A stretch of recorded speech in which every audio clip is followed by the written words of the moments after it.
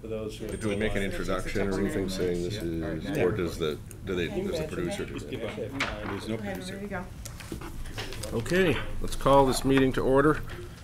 This is a meeting of the Economic Development Commission, and uh, this is a special meeting. Today, uh, we're here to discuss and hear a presentation of uh, the findings of the Business Retention and Expansion Report. And um, with us today to make the presentation is Molly uh, Donovan. Donovan, excuse me. And uh, welcome, Molly. We look Thank you forward very to uh, seeing the presentation and, and discussing with you the findings. Uh, Maybe we should go around the room uh, for Molly's benefit, and everyone can just introduce themselves. That'd be great, thanks. Dana? I'm Dana Levinson. John Bosu. John Pratt. Eric Spear. Hi, Eric. Sarah LaChance? Thanks. Josh was here. Nancy Carmer, John Bohenko. And I'm Bob Mahefka. and Ron is in Florida with us. Hi, this is Ron from Florida. Hey, Ron. Hello. Ron couldn't find a parking spot. Good one. Okay. Uh, All right, great. Um, well, thank you for having me. I understand we have, what, just until about nine o'clock or before nine o'clock. Nancy, is that correct? All right, so, um, thank you for having me. I'm Molly Donovan. I'm a state specialist in community and economic development with UNH Cooperative Extension. Uh, so I work all over the state with different cities and towns, helping them improve their economy and, um, build their capacity to, um, do what's best for their community. So, um, thank you for having me. I, I think many of you know I've jumped into this project just a few months ago. Um, you had another, one of our staff members working on it, and so, um, I'm very mindful that typically when we get to this stage of the business retention program, I've worked with the group for six months or a year, and so we're new to each other. So um, feel free um, to correct me either in the report or as I'm talking if I've made some assumptions or some conclusions about your community that are um, incorrect, because that happens um, because I'm a little um, new to your community. I will say I live in Durham, and so I enjoy Portsmouth um, quite often. I have a daughter who works here in the summertime, and um, so I feel like I know your community as a uh, as a pretty regular visitor and neighbor. Um, and so happy to hear from you. I also, um, as I said to Bob when I sat down, I am going to do a presentation, but I really look at this as a discussion today. I promise you, I do not have 20 slides of pie charts, um, and um, those are in the report, and my presentation is going to follow along a little bit in the report. Um, there's a lot of data, and we, we really wouldn't get through all of that in any detail, and so I wanted to give some highlights and then just um, talk about um, some of what we learned. Um, also wondering, um, and would ask you to think about um, over the course of the next hour what surprised you, what challenged you, what worries you um, as we look at the data, because that will help the end of our discussion today, which will be about what happens next and where do you as a community want to go with the information that's been gathered through the survey. Um, feel free to stop me midstream and ask questions and clarifications. I'm happy to do that. I'm also pretty comfortable to s- not get too deep on one thing because we're trying to cover a lot today. Um, So that's sort of the basis of what I wanted to um, start with my introduction. Um, I will also say that business retention and expansion is about building relationships. And so some communities get to this point and they think it's all about the survey. Um, and the survey is just one tool and you're developing your relationship with your businesses or further developing it. Uh, so um, this is not the end point, this is a medium point where we've gathered some information. And so you'll hear me talk about how to um, continue to build the relationship with your businesses. Um, so that's introduction. Any questions about what we're going to dive into? All right. Oh, I should also say Nancy has gone through the draft report with a fine tooth comb and has shared um, some um, some typos and some word changes. I'm, I was also always concerned whether we've got the business list correct and volunteer names correct. And so if there are other things that you see like that, um, rather not go through those in detail today, but can folks hand those off to you, Nancy, and you'll, you'll get those to me? And then I should also say, this is a draft report, because we want to um, get some sense that you're all comfortable with what's in the report. Um, You'll see that we included um, the notes from the faculty review. I know a couple of, at least a couple of you were here when we did the review with the faculty. Um, It's important in the report that we're building on the work you're doing, so we have the survey and the faculty input. Um, We call this a draft because often we don't finalize the report even after this meeting because we wait to see what your committee or your task force might decide to do next. And we're happy to put that in the report as well, and then that way you have everything in one place. Um, so that's really your, your, your, um, guide for what you're gonna do for the next, um, couple of years in, in business retention. So definitely a draft that we're looking at. Um, so just a little background, I think um, many of you know um, you did 71 surveys of businesses and nonprofits. Um, some of the arts and cultural organizations were included in there. Um, that's really, that was interesting to our staff because most communities are just business focused and it's clear that Portsmouth values your arts and cultural um, entities as part of your economy. Uh, and so it was important that you got those surveys in there. Um, on the whole, um, I hope this doesn't surprise you. I hope it pleases you and you know this, that your businesses are happy to be here in Portsmouth um, and are um, um, pretty satisfied with the situation that they have here. Um, the most of those surveyed, 81% are uh, of the businesses are locally owned. Um, 71% began in Portsmouth. So these are these are Portsmouth folks running their businesses in Portsmouth. Um, they highly, highly value the quality of life here. Hugely important. So um, in economic development, sometimes folks are just looking at um, land and tax incentives and real traditional economic development factors. Increasingly, we're working with communities on quality of life factors, and um, your business community recognizes that's a large part of why they're here and satisfied and successful. Um, I think you've got some challenges that other communities have across the state. We're seeing challenges with finding unskilled workers and training for unskilled workers. Um, that's pretty common. And um, 87% of those surveys said that Portsmouth was um, excellent or above average place to do business, and 88% said it was above average or excellent place to live. Is very, very high. People are very, businesses are satisfied. Um, and particularly satisfied with um, the work, the workforce they're finding here, although some of the other data suggests they're maybe not satisfied with that, and that's how this data sometimes runs, right? So in some questions, they, you know, they're very satisfied that they're finding the workforce, and then when you ask them a little more specifically, they're less satisfied. Um, but happy with um, particularly K-12 education, highway access. Ninety percent said they're satisfied with the loans that they can get in the community. That's like unusually high. Um, We have a lot of banks. if that's, are you a banker, maybe? Um, We have a lot of bankers on this. You do, okay. Well, they're doing their job, so, um, uh, and that's noticeable to the businesses. Um, the other thing that struck us was, um, ninety-five percent feel that this community supports the business community, and that's very, very high, so you've obviously been doing work along those lines. Your challenge is probably to just continue to do that and build on that. Um, So that's sort of the high-level general things, um, about the survey. Um, I'm going to go on to um, what we learned about employees. Um, The number of employees is, um, has been increasing over the last uh, three years when we asked that question. I'm about on page 16, if you're following along, 15, 16. Um, Your wages appear to be higher than the state average. Those numbers are hard to look at. The state averages are really in, um, uh, as entry level, um, but it's not surprising to find out that the wages are higher here in Portsmouth and on the seacoast.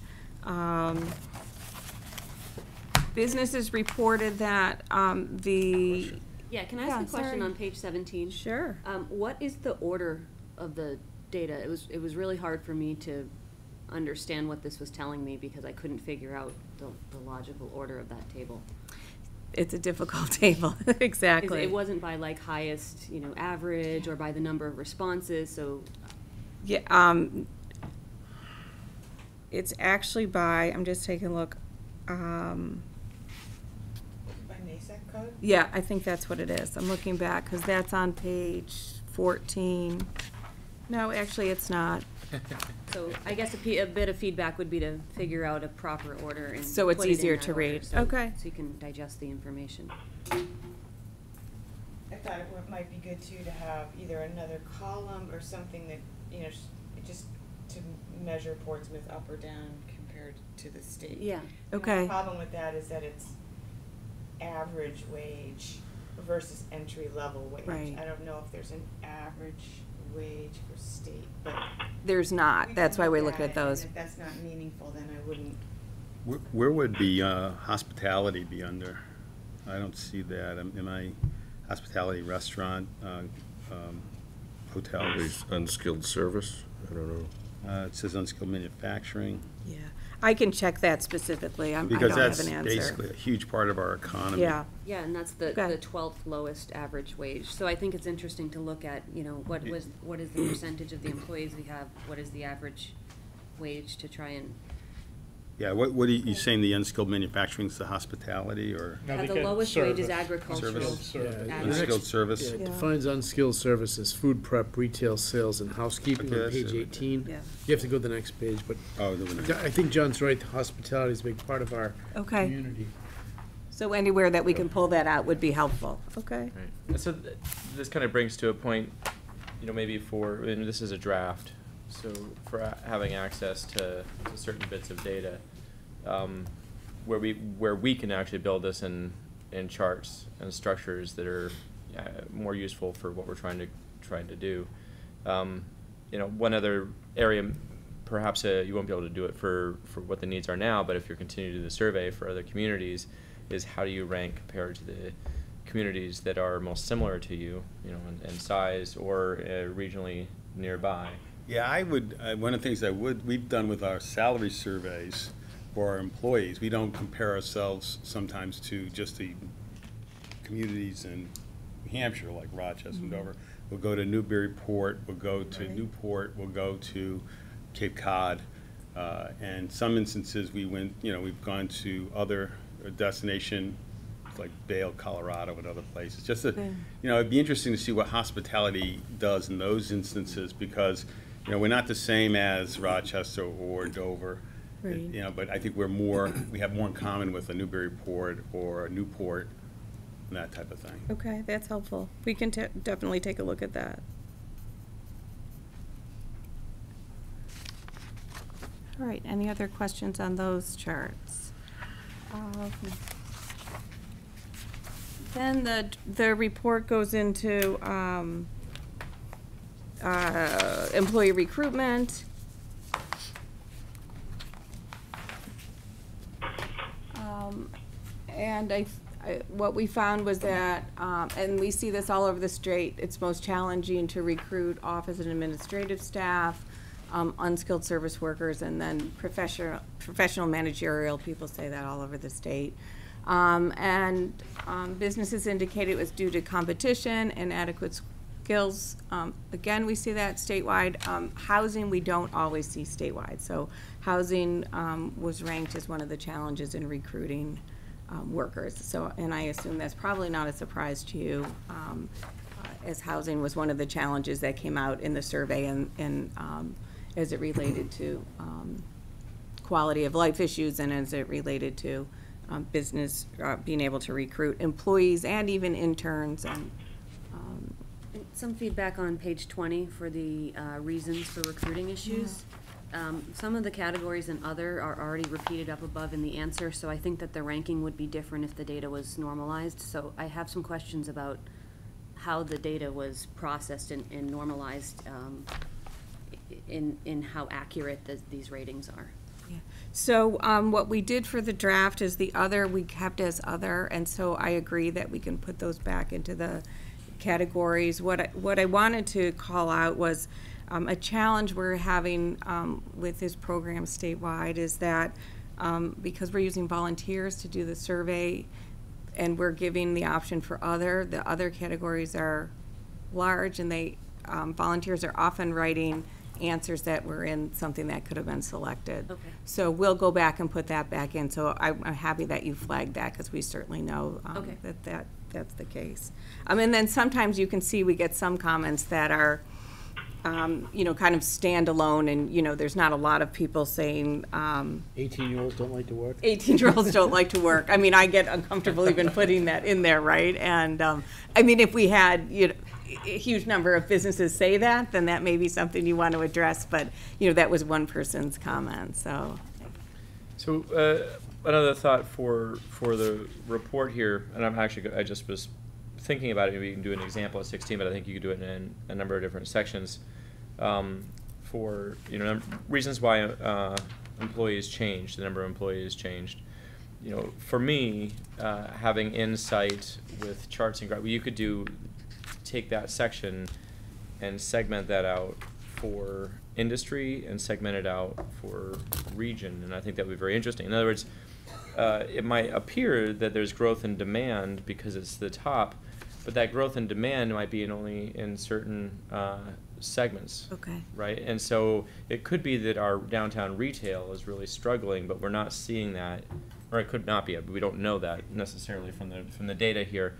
So as an example, uh, it would be important, I think, to to have those segments broken out, uh, or at least the ones that are outliers. Like this is representative broadly of all all things, and there's a note that says that. Or if it's not, you know, call that out and draw our attention. You know, the reason why we broke it out sort of geographically, we thought that was really important for the data, is so that we can do those things. You know, uh, uh, heat maps, sort of zones. If there's a whole strip, that you know, uh, again, the data might look like everything is rosy and great, but if if uh, if you had a heat map and you could take a look at a strip and notice that there's a really long red mark down one particular street, um, that might not be seen in in many other ways, right? Um, these are the kinds of things I would do if I had access to the data, right? Yeah, one of the problems with that is, you know, we, we sent out four hundred surveys geographically, c- distributed around the community, and then toward the end, you know, we didn't get the response, you know, an equal response from, from those respective areas. So we will just have to look at the data if we, if we decide to do that. Yeah. And then one other comment on, you know, on the others and, and just the, the bullets and a lot of these, I think we just need something that says these were comments, we need, you know, by individual surveys. Okay. Say individual comments. Yeah. And, and why did, did you pick this, the comments that are there? Just The- because they, like eighteen-year-olds don't like to work? I'm not sure if we, we want, we want to keep that in. So um, we can do a couple of things. So the co- the other are what people reported, um, and so we will tie back in things that fit into existing categories. Um, and some communities decide to keep all the comments in, and other communities, you're it's perfectly fine to say if it doesn't fit into categories we were looking for, then we don't need those So reported. under other, uh, uh, I guess I assumed there were more bullets, that, but just, you know, maybe ten were selected? Is that correct, or In would some this be all of cases, them? you know, so there may have been, you know. I guess there um, were only seventy total, so maybe that's all of them. Yeah, and it depends on, some questions, not only there a lot under other, um, we had lots of comments in the margins.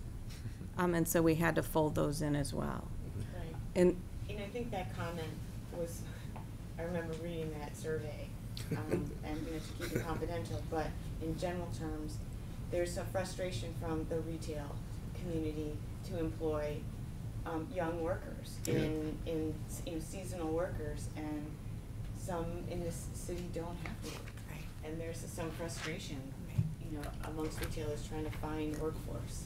So I don't know, maybe we can capture it in a different way than, than That's, that- So, can I, uh, can I inject something? This is Ron. Mm-hmm. Yeah, um, th- th- as we go through this, I'm hoping as a committee, we can think about this from a perspective of what we can do to help businesses grow and prosper. What things can we do as a committee? In in looking at this report, as Josh brings up, there's we may be able to mine the data a little differently to answer some questions we have. But we may also find that we actually have to gather additional information on more rifling on certain things. For example, uh, recruiting problem, there's inadequate labor skills. This report may not tell us with a degree of particularity what the inadequate labor skills mean. We may have to go back to the businesses that are having trouble recruiting because of labor skills and learn more about that. Um, so we have to kind of think about it in two ways. One is we can mine the data a little differently, answer some questions we have, but we may have to have a follow-up action rifled in on certain things that this committee is really interested in helping in. So just a few comments. That- Thanks, Ron. Yeah, that's a very good point. Uh, Um, This survey will always lead to the, the um, discussion about what else do you need next. So it's not, you know, it was never intended to serve all questions on everything. Um, And so to be thinking about how, what data you might want to gather, where you want to dig deeper, or, um, is really important. Um, because I think we can go back and present the data a little differently, but, um, my worry is always that it's not going to totally satisfy what, you know, what a community might want in terms of having all the information right away. It should really cause you to say, now we want to dive deep onto, uh, one of these topics, and how are we go- going to do that? All right. Um, Next, there was a section of um, questions about training. Uh, uh, Most businesses, eighty-two percent are training their staff in-house um, or sending them to off-site training. Um, And, um, you know, lot, comments about, you know, there's training built into um, the type of work that they're doing. Um, What was of note to us was the, um, the high level of entry-level employees you have um, with um, college degrees, you know, forty percent, that's very, very high compared to the rest of the state. Um, And, um, and businesses reported that they expect uh, changes in technology and they'll need training for that. So training may be something you might want to look into a- in a little more detail.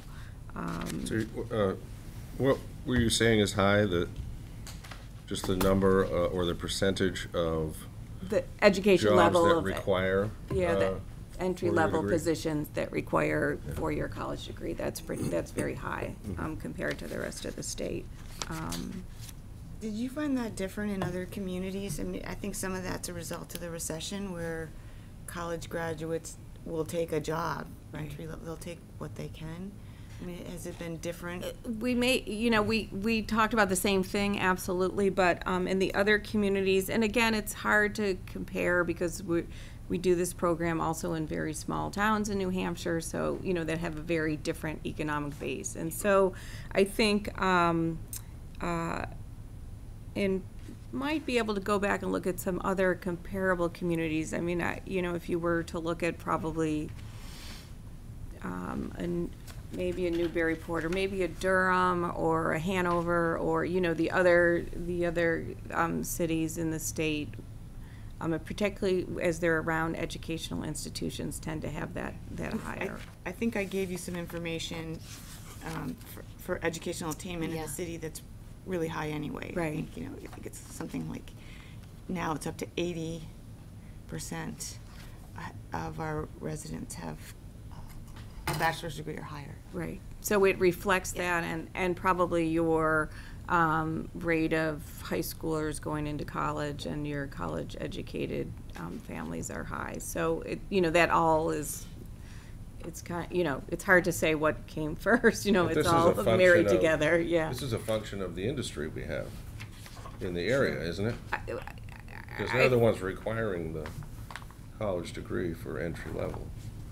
Yes, I think so. As opposed to, uh, if we, we had a great deal of, you know, manufacturing or you know, assembly work or something like Right. that. you Yes. know, It's more high-tech, I guess. Yeah, and I think that's why it would again be interesting to be able to segment this based upon the market segment, you know, what are the degree requirements per industry? Yeah.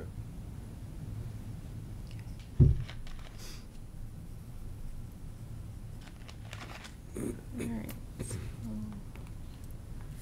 Um, we did note on the, um, exporting, um, eighty-five percent said they were not exporting. Um, Um, I think that surprised some of our staff when we took a look at that. Um, uh, again, and I actually want to soften this language at the beginning of that sentence. Um, you know, certainly it's due to the type of businesses, maybe due to the type of businesses you have downtown, um, but we're, you know, more, um, curious about your other businesses. Um, really interesting to note that, um, uh, the business community is not aware of the International Trade Resource Center. Um, so just wondering if there's some work to be done to determine, it's pretty common for businesses to say exporting's hard, I don't do it, I don't need to do it. Um, and so, you know, maybe there's some work to find out whether, um, businesses should be exploring this, and there's a resource available to do that that they're unaware of. So, so bringing those two things together might be helpful. Um, uh, as I was going through this, what also struck me is, um, I don't think there were questions in the survey about online business. Um, and, um, it would be pretty typical to think about your businesses downtown, particularly your boutiques, are probably doing a pretty robust online business, um, that wasn't captured in the survey. Um, and might be interesting to take a look at that. Uh, you know, there's a lot, I'm sure you've seen a lot talking about how businesses are moving between online and bricks and mortar, especially s- small retail businesses and the success they're having between those two. Um, uh, so that just was not something that was covered in the survey that might be interesting to look at. Yep. Um, Right. Um, Succession planning and business plans, um, you know, we always look at this, um, thirty-four percent of the businesses have no succession plan. Uh, So, um, that's really important for particularly the small businesses to take a look at that. You know, if you're satisfied with the businesses in your community, you wanna make sure that they have a way to, uh, pass that business on to keep it going once folks retire. Um, and other communities that were doing this program, this is a huge issue. Um, um, and it's, it's really tied into, um, the concern about keeping young people in our community and, you know, who's, who's gonna be around and available to take businesses, um, and buy into businesses. So that might be something you wanna look into a little, um, further. Um, uh, thirty businesses said they have, um, no, uh, business plan, and twenty said they don't want any information on getting a business plan. So, um, that, I just wanted to share that with you. So I actually filled out one of these surveys and I specifically put that down as I don't want a business plan. I, uh, there are sort of more modern approaches. Yeah. Uh, business model canvas is being taught in universities. It's something that any startup would use. No startup would build a business plan, um, unless they were told by someone to do it, uh, to get a loan, which would never get anyway. So there might be some, uh, updates to survey questions sort of regarding that, like, uh, more broadening the concept of what a business plan is these days to maybe be a little bit more encompassing. Yeah, Josh, you had shared that last time, and I appreciate that, because I think that's an important distinction, um, uh, and probably part of what's going on here. Um, I also, we also see that, um, uh, businesses worry when they take this survey that this is, someone's trying to open the door to push something on them, and so it's not totally unusual that they would say, you know, don't come calling with information about stuff. So, um, so it's hard to know what that is. I think the succession plan, I think that's the more important piece of data here and something, um, uh, to be considered in the future. That actually might be something we could follow up with. I, I'm just thinking about the number of businesses that have, uh, that have closed in Portsmouth. Um, that one could do some real basic research and try to categorize and see, you know, they closed because there was, didn't seem like there's anybody else to really take over, right? And Usually that's sort of a small retail that is often nobody in the family wanted to do Right. it, but, but that might be, you know, an interesting ratio, uh, to consider. Yep, Restaurants too. Right. Yeah. Who wants to keep, carry on the tradition, right?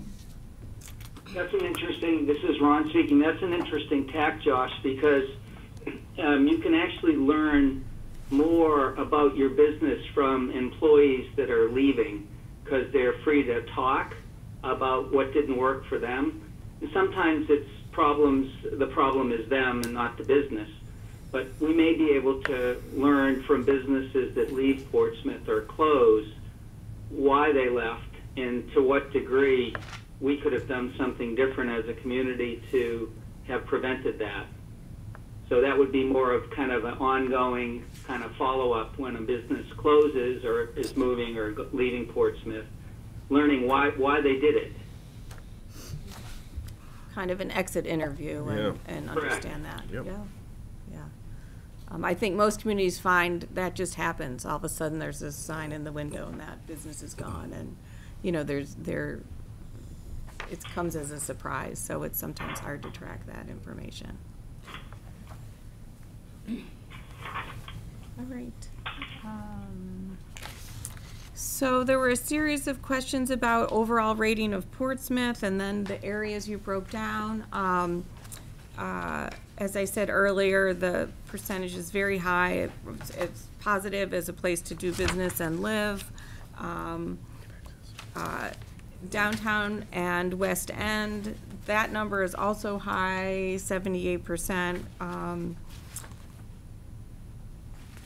and, you know, we can't, we couldn't split out downtown versus West End. You know, Those were all put in together, and so, um, I wasn't here when those sort of pairings We were made, but. didn't want to make the survey any longer. Okay, all right. Yeah. So So we we- just found that frustrating all of a sudden because it was sort of like, well, we think this is different. Um, but, but I think that's okay because I think, um, uh, knowing those, you know those areas and if you want to dive deeper in, um, those different areas, you can certainly do that. Um, the important things, um, that they would like to see improved, um, again, this may not be a surprise, parking came out number one, um, rest, restrooms were, uh, public restrooms were number two, traffic flow and signage, um, came in behind that. And, th- the parking was less important in the other areas.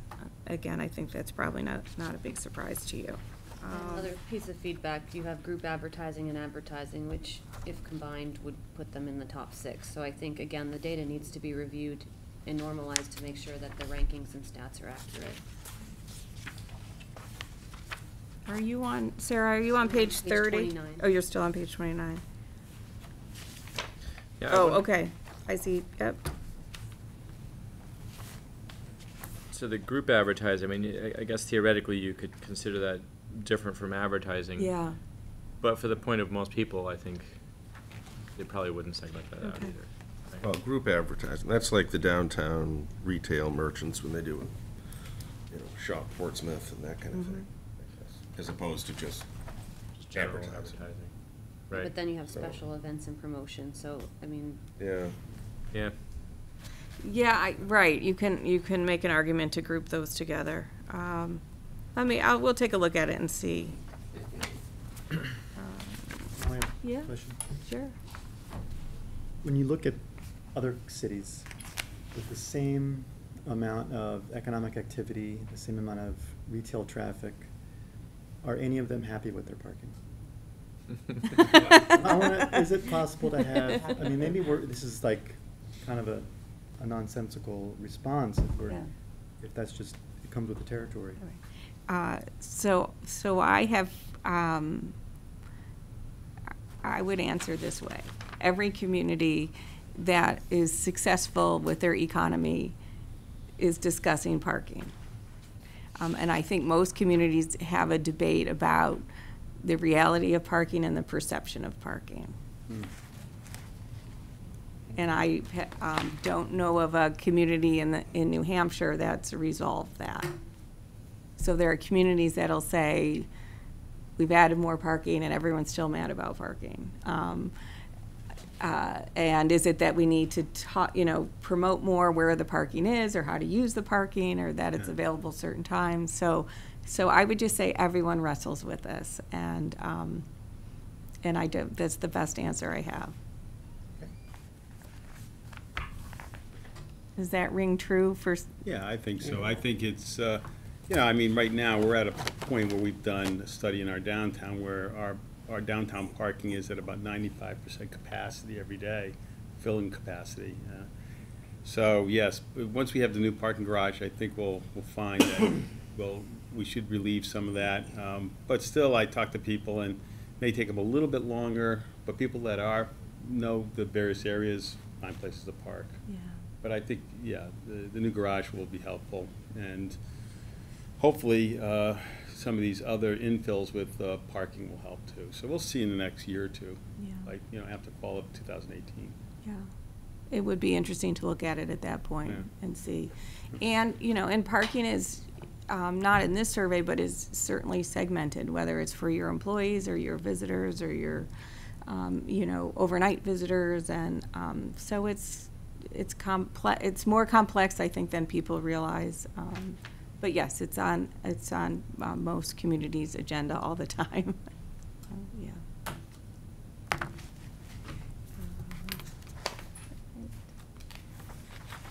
Um, the Route One and Woodbury Ave, um.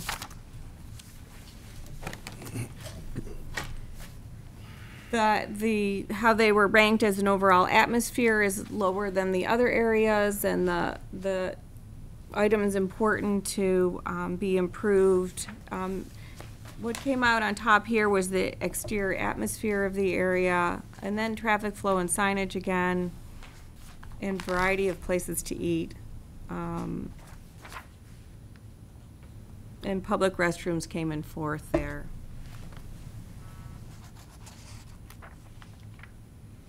It's interesting about this, mo, a good portion of this would be state, not local, in Mm. terms of the roadway itself, Right. but, uh, businesses would be Portsmouth. And, and when you put the, co- the bullets down again, like if somebody said taxes, you wrote taxes, and then if someone said taxation, you wrote taxation, and Yeah. then if someone said tax, you wrote tax. Right. Yeah, I think, So yeah. you're okay if we pull that all together, all right? Just wanted to show you that. We Okay. get, we get the taxes. Uh, Well, and we're careful on that, because if I don't put all that, then people think we're trying to hide that taxes may be an issue, so, um, uh, so yes, that, that came up there. Um, You know what I thought was interesting is looking at the surveys was, um, when people were checking, you know, what, some just said, you know, I don't know about, in this, what, you were ranking police, uh, city services, and so, some people said, great, great, great, great, great. Others just said, I don't really know. A lot of the Pease companies said, I don't really know, I don't follow it, I don't, I drive here to work and then I drive elsewhere, but there was a big disconnect between like our bond rating, how, how we're doing, and then taxes, like people, they're, I, people don't make that connection. It's Right. pretty interesting. Yeah. And, and I think even though most of Route One in Woodbury is state, I live off of Route One, so I'm like particularly keen on this. It's the lowest, um, atmosphere of the, the survey respondents. It's mostly below average, poor, or average as Right. opposed to West End and downtown, so I think that's worth Right, and, and actually, the, the uh, planning board has been working on that with the gateway zoning. So, you know, it takes time, uh, you know, the idea of pulling the, the businesses more towards the roadway, putting the parking in the back, that type of thing, and we've been, that's the attempt, but that's gonna take years to do. And I think to, to that point, there are some interesting um, pieces of feedback here that show up for particular areas that have shown up in other committees or in other meetings. So I think one of the uh, benefits of the data here is that perhaps we can pull action items or things to do that address other Sure. committees and other interests. And Yeah. I think that would be one of them. What I'd like to do, um, if this is possible, if you have, a- do you have a map with the, the areas called out? Because it would be, I think it would be. If we don't have one, we pres- could- Present better to have a, a couple of maps, all of Portsmouth, to show the different areas that were studied and call out some of these, so people can compare them on one page. And I also think the map's important, because I, I, I wonder if, um, and I suspect, because I know with our staff, as we were working through the data, we kept saying, this isn't just about downtown, you know, people tend to think about Portsmouth as downtown. And, and to really, you know, focus people in the survey that this was about a number of different areas. And I don't think we've effectively done that, but I think, um, if you can share a map with me, that we, we could work on that. I think we If, can if call you're out- comfortable with Yeah, we that. can call out the Gateway District, we could Okay. probably, and we can do West End and downtown, and, yeah. Yeah, We can look at that, we'll, we'll pull that together. Okay. Assuming you think that's helpful. Yeah, I think it is. We Yeah. list the businesses anyway, right? Right, that would be good. So, I mean, we can, we can actually put, uh, we were just discussing, uh, just for the public record, we, um, I think I had gotten a list of just the addresses of everybody that re- had responded. And, you know, it's very easy to, to toss onto a map so you can see the geographic distribution. Yes, uh, we're that we happy to do that. Yeah, we, we can talk to our GIS. Yeah, I mean, I, Okay. I, I had done it before, and it's all of five minutes worth of work, so. But, um, and I think you probably have more slides. Uh, or Just a are we getting to the wrap up? I, there was a section Sure. that we kind of skipped over on, on broadband. Yes, don't know we if can you go wanna back, I didn't do a slide on that, but let's go Yeah. ahead and go back to that. Thank you. I lost it. Now I lost it too. Twenty-six and twenty-seven. Okay. Oh, great. So, um, you know, what, what stood out to me was this, you know, when, in the question of how important is broadband to your business, nobody said it was not important, right? Like, clearly, high-speed broadband is important for everyone. Some people, it's gonna be a lot more important than others. Uh, one item that I thought we recorded, and I, maybe I'm wrong, but I thought we recorded actual speeds uh, for respondents, and I think there there's actually a committee that's going on uh, that's studying this stuff, and so it would be very useful for us to see the the variability in speed, um, and to have that broken down by region as well. Um, uh, Yeah, we did do speeds, Yeah. upload and download. Yeah. speed. I, and absolutely, that was asked, and as I recall, the vast, vast majority did not know. Not know. So if, and we're happy to present that if that's helpful, no. yeah. What, whatever data we can get, I Okay. guess, is better than, than zero data, and maybe that's just, I mean, if that, if we, if it calls out that it, it's impossible to ask people to get that, then maybe we have to do a different approach. Didn't we give them instructions on how to do it? Yeah. We Yeah. gave them the I mean, it's not- instructions, we asked them, and then we asked I can them, why you know, nobody we would weren't, wanna do it. we weren't interviewing, we were trying to interview high-level, you know, administrators, and they Right. didn't often know. And they said, we'll get back to you with our IT, well, I gotta talk to IT, Right. and they oftentimes didn't. So we could do some more We follow-up could on follow it. up on Yeah. that pretty easily, I think. Yeah, well, um, and, that, that's fine, if, if we didn't get enough quality data, that's, it is what it is. But I'll pull out, I can pull out what kind of, what we didn't get, and you can take a look at that. Um, I would say, um, our team has been on, um, the broadband, there's been a broadband grant across the state, um, and that's extremely common. Businesses don't know their speed and don't know how to find it out.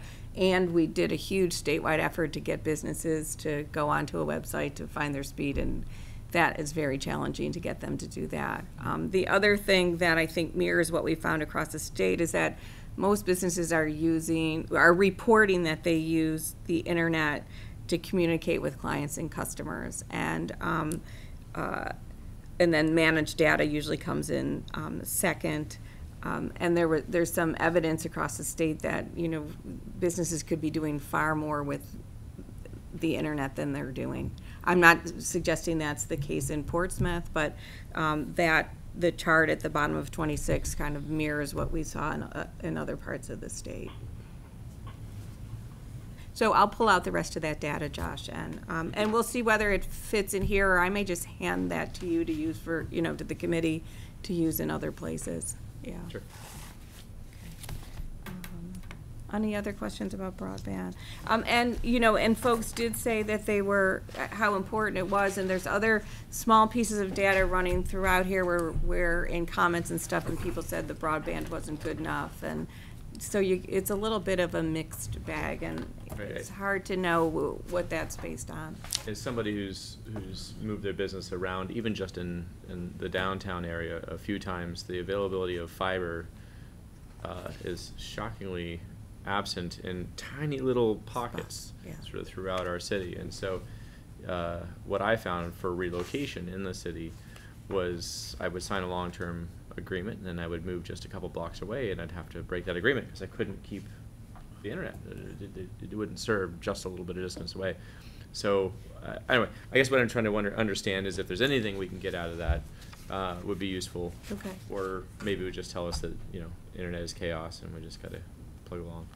Yeah, and there, um, there, there have been a couple communities, um, oh, one in the Lakes region, I'd have to think of the other one, who really did a serious push to get their businesses to do a speed test, so that they could really address those underserved areas. So they're, um, and they did that by contacting businesses and doing a huge public outreach on you must test, you know, do a speed test so we can help better our community. Just an option that communities take.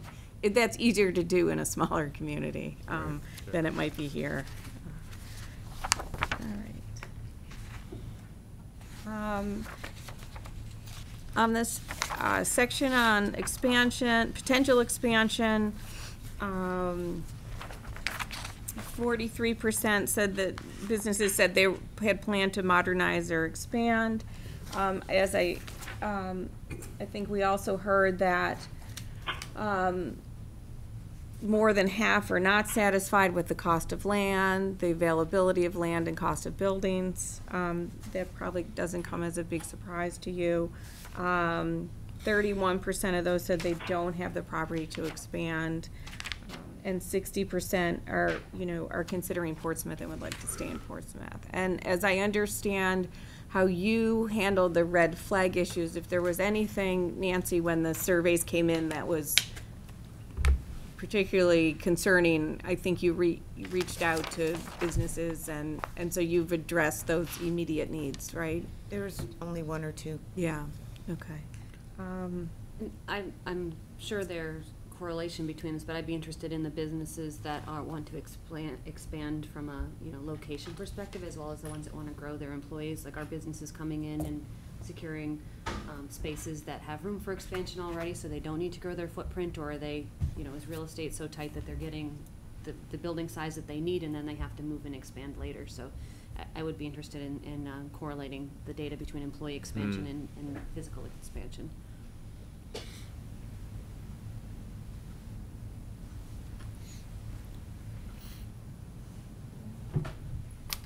Um, All right.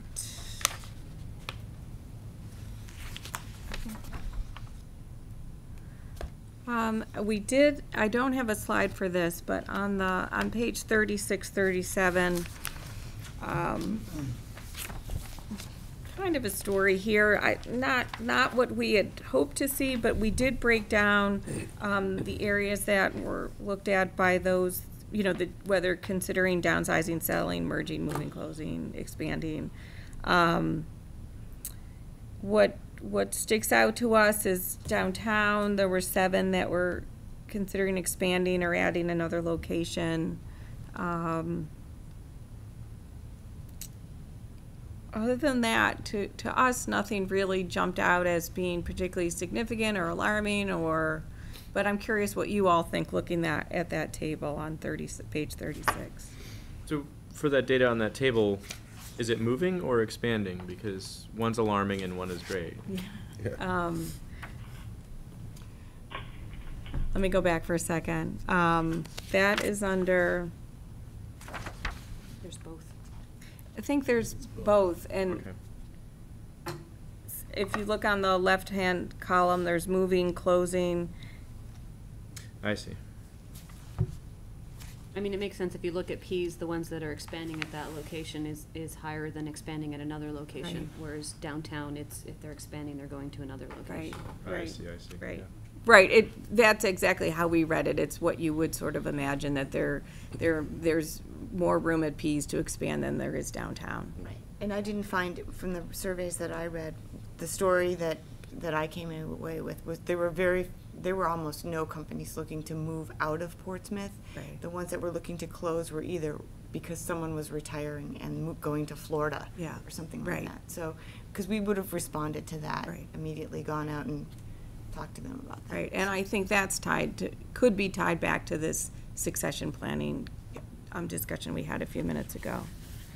Um, I mean, what this says to me is if you want to um, grow your business to account for future growth, you can't do it downtown. Yeah. Yet.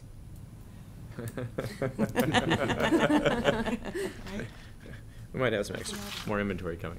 Right. Alright, um, And, you know, I, the other, the other thing, takeaway from this is businesses are happy to be here, and so you, it's definitely not a community where people are saying, you know, I wanna go elsewhere. Um, I mean, there's, just by virtue of what they're saying in terms of cost of land and cost of building and availability, um, but yet you get this clearly in the survey, this sense that businesses are satisfied here and love the quality of life and want to stay here. And so that's, you know, that's your challenge is keeping who you've got here. And, I mean, you obviously know that. Um, that's not, obviously not always the case in other communities where, where businesses are ready to make a leap because those quality of life things are just not in order for them. Um, so those are well addressed here. Um, We talked about parking. Um, we've talked about housing, um, definitely is an economic development issue in the minds of the businesses. Um, something that, um, certainly sounds like your community is considering and addressing. Planning, zoning and regulations, we, we're, uh, you may be the first community we've seen where people are so happy with the planning efforts and planning department. Um, we don't usually see that. So, um, kudos to you and to your staff on that. And of course, people said that zoning and regulations were inflexible, and I think they say that everywhere. Um, uh, they're probably designed to be um, somewhat inflexible, but um, uh, um, what other communities are doing, um, I I assume you've done is really streamline your process for businesses if they want to go through um, any regulatory process or planning or zoning. And so what's, what's really important to folks is that they know what the process is. Somebody's walking them through that process and they can get through it in a comfortable way. Uh, And so um, I, I suspect you're already doing that because people are satisfied with that. We probably need to work on that a little, think that's in our And master, what? it's in our master. the whole plan. process. Well, the process is- is actually being put up online relative to inspections. We're moving in that direction. Right. uh, Where you can get your permits online, where you can pay for your permit. You don't even have to come into City Hall anymore. So if you're getting a plumbing permit or electrical permit, permit, there is a system in place now where you just go on, apply for it if you're a cons- contractor and get, it starts it through the process. You ask for the inspection, everything pops up as to when things are ready to, to be inspected. And, uh, you know, we're going, we, we launched it about three months ago, and I think it's, you know, and when people come in that aren't familiar with it, we take time and walk them through it and show them how to do it, so. Yeah. uh, It's, it's a, it's, it, it- it was, you know, in the, in the, with the trades and everything, it was a real. Yeah, uh, it takes time for to educate people and get them to think a little I think we probably, yeah, the planning end, I think we could, people usually come in and, and we walk them through it, depending on the size of the project, but we, there's a lot of personal interaction, uh, where somebody will work with the person, if- especially if it's a person that's not familiar with the process, it's a homeowner that wants to do something, we'll spend a lot of time with them, you know, either wetlands issue, or construction issue, or if, if it's something they need to get some land use approvals, we'll work through with them personally. A lot of it is expectations, and I think it's, that's Um, changed because people's expectations are no longer, oh gee, I can just do whatever I want. Well, You know, really, there's a- There is a process. What, what's and gonna, what you'll a to see. work through. Yeah, what you're gonna see though. understand that now. Is a lot more marginal properties trying to be developed. So what that causes is a lot of problems, because somebody may have a piece of property that really, ten years ago, wouldn't even consider trying to develop it,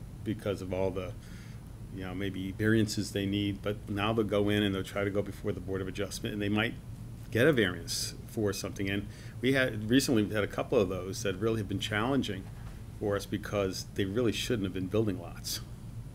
So, it's a, it really is, and you're gonna find it more and more. Yeah. People as they try to, you know, squeeze out as much as they can, so. Quality of life and community vibrancy, huge, comes out throughout the survey that this is very, very important to your businesses. They recognize it, there's, um, uh, we talked, um, at the faculty review and in, in the faculty notes at the beginning of the report, um, about replicating some of that community vibrancy in other commercial areas outside of downtown. And so how do you bring the best of downtown um, into Pease or into the other commercial areas? So that might be something um, you could consider or, or work on for the future if you're, I think you already are, you were talking a bit about that. Um, But um, clearly, your, your biggest asset right now in terms of economic development. Um, in the faculty notes, I just, I did want to point out that we talked um, at that meeting and in the notes about the importance of recreation and the importance of looking at the next generation of workers, particularly because you're, uh, you tend to have businesses who want a well-educated workforce. Um, and that workforce is really pretty demanding in terms of what they're looking for out of their work experience, um, different than many of us around the table. Uh, they want walkability, they want the ability to ride their bike to work, they want to have recreation at lunchtime or before and after work. Uh, and um, they want that vibrancy, they want um, exciting things to be happening. Um, there's a lot of um, uh, uh, material being written across the country about the change in suburban office parks and how the millennial generation does not want to work in a suburban office park because it lacks the vibrancy and the cultural and arts amenities and recreation. Uh, and so you, you, you have sort of an interesting, um, this is sort of interesting in terms of the different areas you're looking at and what you might um, try to do outside of your downtown to capture that next generation of, of business uh, leaders in your community. Um, so just something to consider. And I wanted to point out in the faculty review that there was some talk about the, and I'm not um, just promoting UNH, um, but um, the, the link to um, university or education systems. And so how can, especially on the business recruiting end, how can you link better with um, the educational institutions um, in the region or in the state um, as a way to, you know, uh, bring people into your um, workforce. And again, that's tied also to the highly educated workforce that you have here. But also, other communities are looking at that in terms of how can, particularly the community colleges, help build the skills of our unskilled um, labor force. Uh, and so, um, so there's opportunities there. Um, I wanted to just, um, I think we've got a few minutes left. I, I wanted to end with, um, just a couple of questions. So as I said at the beginning, it's, the survey is, um, and even contacting businesses to do the survey, um, is, is one way you're building your relationship with them. And so I would encourage you to think about how do you want to engage with the businesses going forward. Um, certainly to share the final report with them is another way to have a conversation with them, whether you do that via email or in person, um, that's certainly up to you. Um, but I, we think it's really important at this point um, to always close that loop of engagement. And so if someone gave you um, the time for this long survey, um, it's really incumbent upon you to go back and say, this is what we learned. Um, but to think beyond that, do you want to talk to them again in a six months or a year or two years? Do you, would you do another survey? Would you um, think about gathering um, businesses by district and talk to, to talk to them about what was learned? Um, and the other um, thing along those lines is to consider who you would share this report with widely in your community. Um, some communities do go through, uh, you know, some of their other committees and communities. Some have a large community meeting, invite all sorts of folks to digest the information, with the idea of being how do you identify next steps, particularly with volunteers? And, and so, you know, how can you as volunteer committee members and other committees take what's learned, what was learned through the survey, through the meeting with the businesses, through the faculty review, decide what you're gonna actually act on and how do you organize around that? Um, and uh, as Josh brought up earlier, I think all of this should also get you to think about what's missing in terms of information and, and do you want to take a next step in terms of gathering that information? So that's the end of my formal presentation. Happy to answer questions or talk about the, you know, next steps in the, in the future. I, I think I've got some really good direction on where to take the, this iteration of the report, and, um, we'll take some time and get that back to you. Um, Uh, Nancy, you, um, well, when we started this, we had planned to share it with, obviously, everybody that participated. And maybe we should all think about uh, other information that we might want to gather or different ways of looking at it and, uh, and I don't know what the timetable is for the final, um, I don't- I don't report, think- Or if we have one, or maybe we should think about that, too. I don't think we've determined that yet, and I think back, uh, you know, there was sort of a cookbook approach to doing this in Portsmouth, being Portsmouth kind of veered away from that uh, on, Yeah, on well, it's pretty, levels. it was a pretty big project. you But, know. but, I think, you know, we have a leadership team, many of the members here on that leadership team, I think the first step is, um, after hearing what everybody here thinks, we need to reconvene and try to answer some of these questions that are up on the screen right now. I think we had, you know, we had close to seventy-eight engaged volunteers that went out and did these surveys, and we owe it to them to, I think, somehow get, you know, respond to them and let them know what we found out, because they enjoyed doing the surveys.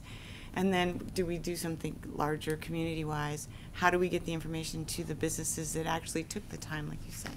So I think those are all decisions that, that we, we need to make. But I remember what Andre said at the beginning, is we want three action items. We want, you know, out of all of this information, and what do we have the capacity to do? We're all vol, John and I, but we're volunteers. And, um, you know, what can we do? What's important for these, what are the big things that are important for retaining and expanding our businesses here? So I think we have to have more discussion about that, based on findings. So I'm curious to see what everybody else thinks.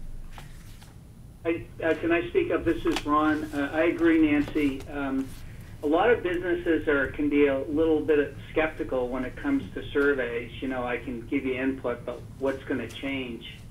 And I think if we had a couple of specific things we wanted to work on, and we learned from the survey this, and here's the action we're going to take, that will I think when you're closing the loop with the businesses, that will make them feel like it was a more productive thing to do. They see that things have come out of it that maybe will help the community, maybe help their business. I think they'll be more responsive to continuing the dialogue uh, and further requests for information. So if one of the things was simply we've decided to do exit interviews on businesses leaving because we believe we'll learn more, that could be one of the action plans. Um, no, all the action plans don't have to be that labor intensive. Um, Josh had mentioned the importance of broadband. Well, we want to stay ahead, ahead of the curve on broadband. It isn't a, a big problem for businesses, but it could be a problem in the future, and it would be a very difficult problem because of the dependency. So those those could be action plans. You know, uh, we have a committee working on that. We're going to share the importance of broadband. So I think the, the important thing for this committee would be to develop action plans, things that we want to do uh, out of this, and, and maybe marry that into the presentation uh, when we're presenting the information to the businesses who participated, not only showing them what the survey found, but what has come out of that. So additionally to that, uh, for what Ron and Nancy were saying, I think also important is if you're a layperson, you're reading through this report and you're like, look at all these problems that have been found and all these concerns.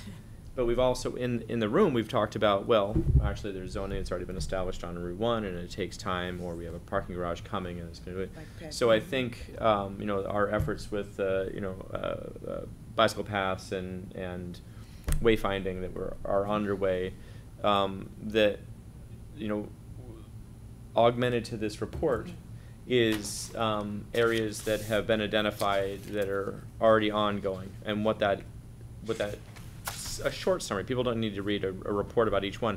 A very short summary and sort of an estimated time frame for how these things are affected some are much shorter time frames than others right? Um, and i think that would help put context to everything to say that these are all areas the city's actually actively been working on, uh, and so that there isn't a flurry. Well, if anybody reads this, but for those that do read it, the, the small flurry of, of why isn't the city doing anything about it when in fact then then we're sort of reacting to a concern versus Yep. being proactive and explaining what we Yep, already I kind of think, I agree with you, because it's kind of almost like an audit, you know, here, Right. here's the results, and then here's your response to your action items. And I think if, if we gave a copy of this, uh, report to the businesses that participated and gave them an opportunity to provide feedback, you know, that would be, I think that would be helpful. Yeah. May not get anything back, but at least they would know that we Right. followed up back. But we can give them that opportunity, to your point of relationship building, we can give them the opportunity that, hey, we're willing to come visit. you know. Yeah. And, you know, seventy businesses is, 71, 72 businesses is not insurmountable. Right. Um, We, we have volunteers that wanna do that, so. So I think there's a couple of important points in there, is using volunteers to do that. Um, and you already have this group of volunteers that are engaged. Um, in other communities, um, businesses are agreeing to visit other businesses, because oftentimes businesses say, oh, I want to meet that other person, and so there's a nice networking opportunity. So that's absolutely another way to do it. And you might consider sending the report or communication not only to those who were surveyed, but you could include those who were contacted and declined the survey, because you, you know, they, who knows why they declined? It may have just been a time issue, so you've already made an initial contact. And you could even go back to your larger list, you know, w- there were two hundred some on the original list, as a way to just communicate to them and, and build those relationships. So you have that opportunity to do Molly, that. is the seventy-two responses for a community our size, uh, typical, above average, below average? How would you assess the response? So we haven't, um, this is the largest community we've done this program in, um, and, um, I think where we got comfortable on the response, um, was it's, you start seeing the same answers. No, but I mean, just the, the. The number? amount- The number of businesses that participated, would it be what you would have expected, or would you have expected based on other communities, a larger response or less? For example, Wolfeboro Yeah. had a hundred, I Yeah. think. We expected more. We We, we expected wanted to get two hundred. It was difficult, I think, to, uh, hard. get a hold Yeah. of It was everybody. Yeah. Yeah, And, uh, and some of the, uh, you know, some of the uh, requests went out and just went nowhere. Yeah. Because I think we didn't have the right contact info and, you know, it's, it takes a lot of work to find out who to send it to and then set up the meeting and, you know, we just had volunteers doing that and, you know, I think the expectation was that, oh, you just send a letter out and you'll get a response and set up a meeting and We it have doesn't kept work that going way, to get so. two hundred, but it would have taken us probably two more years. Yeah. Yeah. Volunteers had a, a finite amount of time. Right. And like Molly said, we were finding, I think we got the answers that, you know, the, we have a lot to work with here. And we were starting to hear the same thing over and over. Yeah. Right. And I would say in general, in all the work we do, whether it's community meetings or survey work, um, we get a higher response for everything, the smaller the community. Right. Yeah. Right, Right. it's just a, you know, they, they tend to be more, have the ability to be more intimately involved with each other. And so, so I, because of that, this, I'm very comfortable with where, where, Okay, um, this good. landed. Sarah had a question. Yeah, so similar to what Josh had said, in, you know, in addition to pointing out existing city programs in place to address some of these issues, I think on the other side, you know, for like the parking garage, complete streets, et cetera, when we're doing, um, you know, sharing information about what we're doing there, I think it will be important to tie in specifics to the business community. Sure. You know, so, so work it from both angles. Yeah. We're rolling out our new website hopefully by September, and so there's gonna be a lot of changes to it, the ability to navigate it. So, yeah, that's something we can talk to Cool. people that are working on. Just one last I have of- a, another question, or actually just a suggestion. Uh, This is Ron. Um, For example, one of the things we found was inadequate labor skills. Almost half the businesses um, and identified a recruiting problem, and half of those businesses had suggested that their employees have inadequate labor skills. Well, this is not, I mean, this is just a kind of like an idea, but, you know, we could invite those businesses to a focus group with Great Bay Community College to participate in defining specifically what skills are missing uh, for their employees. I know a lot of employee companies do in-office training, but that would be something that would be definitive, that we heard you, we want you to have a voice, maybe Great Bay Community College can help address those needs of your and some of the other businesses. So things like that will definitely uh, show the businesses that we've taken action steps, some kind of action steps. That may not be the right one, but I think that's what we need is some action steps that, that respond to some of the big things we find in the survey. Yeah. And on that topic, I, I would encourage you to look at um, what the state is doing in other communities, because this is a topic everywhere. Right. Um, Okay. Yeah. I, I think that it's a, an issue of, uh, for some, it's an issue of we want them trained before they get to us uh, versus we're going to take someone and bring up their skills for our, our highly specialized process that may not necessarily exist anywhere else. So, Yeah. uh, but for for the sake of uh, going back real quickly, I just want to wrap up one last um, uh, area regarding the number of responses that we had. I think it's also kind of reflective of if there's not a problem, why do I bother? And so I think you know there was a lot of reaching out to do, but for for most people, uh, if you don't really they're going to be much more likely to respond if, if there's an area of concern. And so I think it's reflective of the results that we got that was actually fairly uh, pleased with Portsmouth, uh, you know, kind of across the board, a positive thing um, that we're not likely to have gotten as many responses or, or eagerness.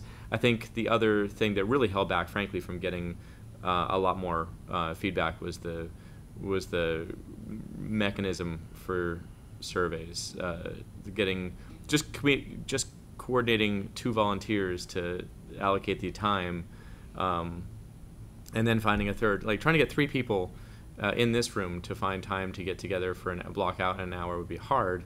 Trying to do that, you know, uh, systematically through for hundreds of businesses is very difficult. Yeah. And ultimately, that's what you have to do is get three people to block off an hour um, with fairly limited schedules to begin with because they're volunteers on on one side. So I think, uh, you know, if as a feedback for for this particular program, a system that might work really well in small communities probably doesn't scale well, and so the process for doing the surveys would probably inherently be different the larger the community got.